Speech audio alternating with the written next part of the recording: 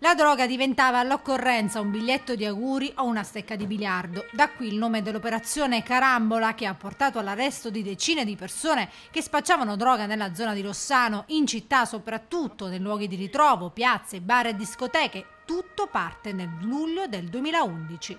Questo è uno dei due episodi che ci hanno portato a intraprendere questa indagine. L'altro è stato un duplice tentato omicidio di padre e figlio scoperto grazie anche a delle intercettazioni e delle attività tecniche. Tra l'altro gli autori erano padre e figlio che erano concorrenti nel mercato della droga.